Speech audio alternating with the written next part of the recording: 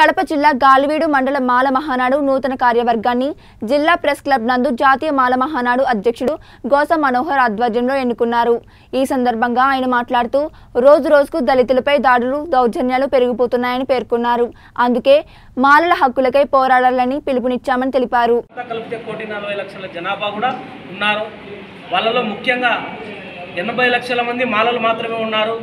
మాలలకు ఈ రాష్ట్ర ప్రభుత్వము వైఎస్ జగన్మోహన్ రెడ్డి గౌరవ ముఖ్యమంత్రి గారు మాలలకు ఏదైతే న్యాయం చేయాలని మేము ఓట్లు వేసినామో మాకైతే న్యాయం చేయకుండా ఉన్నారు. ఈరోజు ఎస్సీ రుణాల విషయంలో అయితే అతి దారుణంగా మమ్మల్ని మోసం చేసినారు.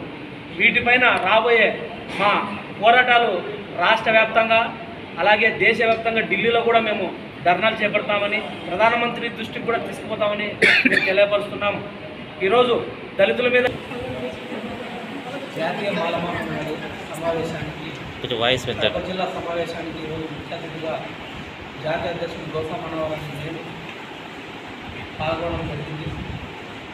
ఈ సమావేశంలో యొక్క ముఖ్య ఉద్దేశాలు నూతన కమిటీలకు కంగ్రాచులేషన్ చెప్పడం జరిగింది.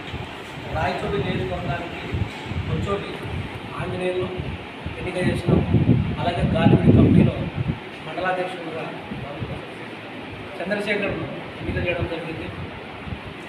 జిల్లాలో దళితుల సమస్యలు ఏ విధంగా ఎదుర్కొంటున్నారు వాళ్ళ యొక్క బాధక సాధలు ఈ రాష్ట్ర ప్రభుత్వానికి మేము వినపడే విధంగా ఈరోజు ఈ జిల్లాలో జాతీయ మాలమానాడు సమావేశం సమావేశం ఏర్పాటు చేసుకున్నాము.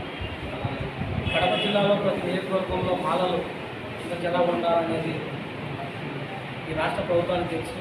అయినా కూడా ఈ రాష్ట్ర ప్రభుత్వం మా యొక్క బాధలు వినిపించుకోవడం లేదు. మా ఓట్లు మాత్రమే కావాలి. మా ఎటువంటి వీళ్ళకు అభ్యంతరం లేదు.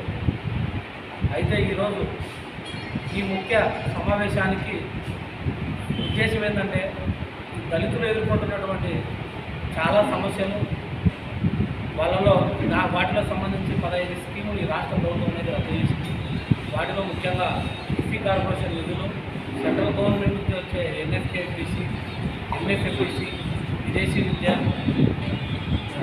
బెస్ట్ అవైలబుల్ అలాగే ఫ్రీ ఎడ్యుకేషన్ కోచింగ్ ఇట్లాంటి ల్యాండ్ పర్చేస్ స్కీమ్ ఇట్లాంటి అనేక మంచి పథకాలు అనేది దళితులకు రావాల్సినటువంటి పథకాలని ప్రభుత్వం అనేది రద్దు చేసింది. ఇవి వెంటనే ఇంప్లిమెంట్ చేయాలి. రాష్ట్ర ప్రభుత్వాన్ని డిమాండ్ చేస్తున్నాం. మా యొక్క డిమాండ్కి